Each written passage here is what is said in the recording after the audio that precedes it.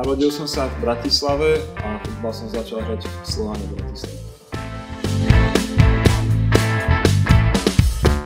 Boli to pekné pocity, uh, bolo to v zápase proti hlave, vyhrali sme 4 takže mám z toho naozaj dobré pocity.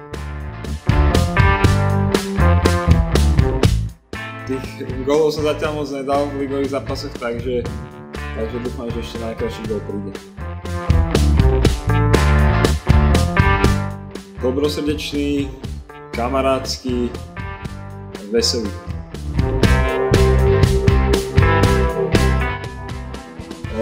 určite rýchlosť, bojovnosť a zodpovednosť.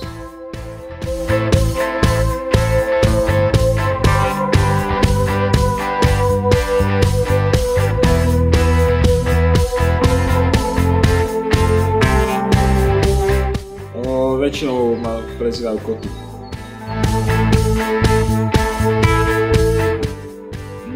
To ťažko povedať, to si nepamätám.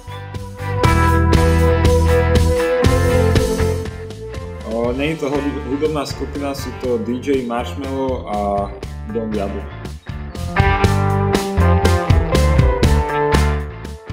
O, myslím, že, že rodičom a priateľke snúbenici. Pána Boha.